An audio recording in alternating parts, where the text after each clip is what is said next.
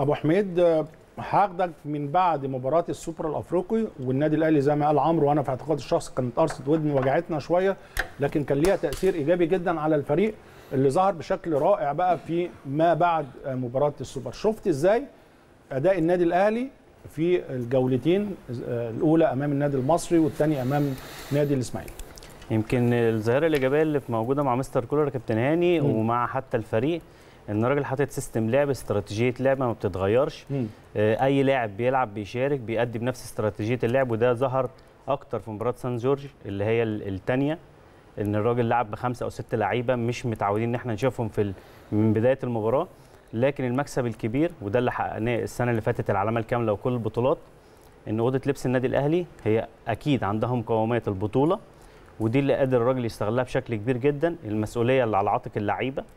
دي اللي بشكل كبير جدا بتوفر على الراجل حتى وصول التعليمات آه، ليهم لكن المكسب الكبير زي ما قلنا أكيد رحيل حمدي فتحي مش هنقول خسارة لل- للفريق لكن بيعوض وده مجلس إدارة النادي الأهلي اللي دايما بيوفر كل سبل امكانيات البطولة صحيح. للراجل بيعوضوا ب- بإمام عاشور آه، رضا سليم إضافة قوية لسكواد النادي الأهلي هتلاقي يا كابتن ال- الاستقرار الفني والإداري اللي موجود عند النادي الأهلي.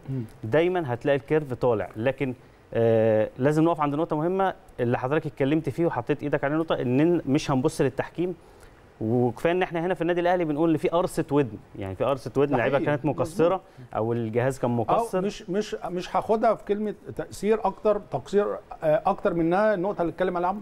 ضامن إحنا هنكسب. في أي وقت ضامن المباراة إنك. رايح طبعاً. آه، رايح وما عندكش أي مشكلة إنك هترجع بالكاس وده خطر في كرة القدم. يعني طبعاً. دايما لعيبة كبيرة وعارفة.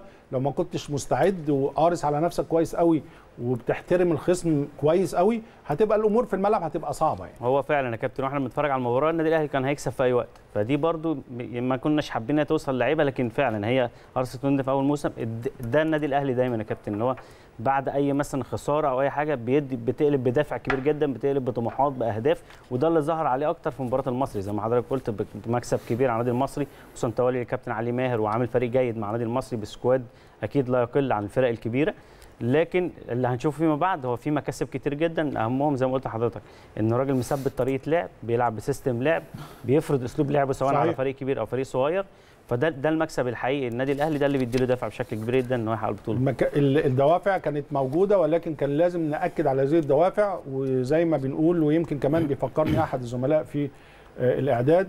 يعني أنت لعبت المصري كسبت ب score عالي كبير جدا. 4-0 كسبت إنبي ب score عالي. سان جورج كسبت ب score عالي. كمان النادي الإسماعيلي اللي ادى مباراة كبيرة الحقيقة قدام النادي الأهلي كمان كسبت ب score عالي. وبالتالي الأمور آه، اتضحت ورجع ورجع خلاص. الكل مركز الكل, عارف قد إيه ال- البطولات هتبقى صعبة.